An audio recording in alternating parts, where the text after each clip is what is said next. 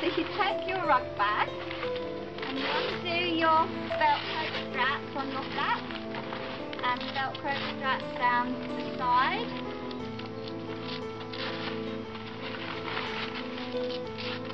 Only need to undo three. And you undo your zip. Halfway down. Open up your bag like so, and you place it under your rug. Obviously if you're taller, this is a whole lot easier. Or you have a big stone. Pull it up.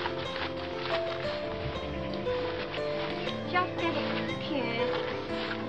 And then you can fiddle about making it look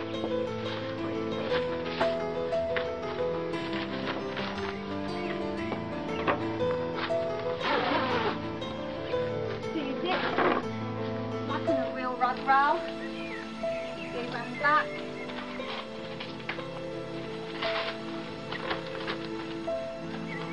And secure your strap.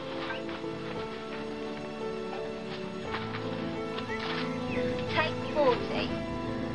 As you can see, these straps are wrapped round the bar. And this is because if you've got a lot of rugs, then you need the room.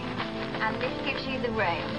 But if you don't have many rugs, then you do have the option to put the straps round the bar. Not all rug rails have bars, but this one does.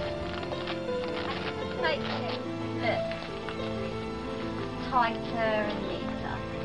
That one up there, earlier. There you go, all lovely on your rug rail.